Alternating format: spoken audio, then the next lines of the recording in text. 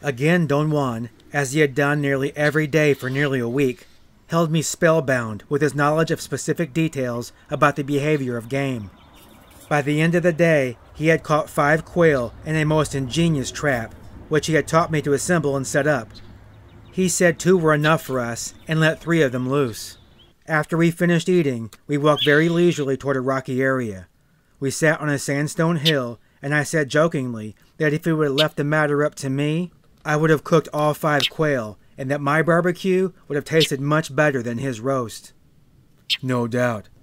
But if you would have done all that, we might have never left this place in one piece. What do you mean? I asked. What would have prevented us?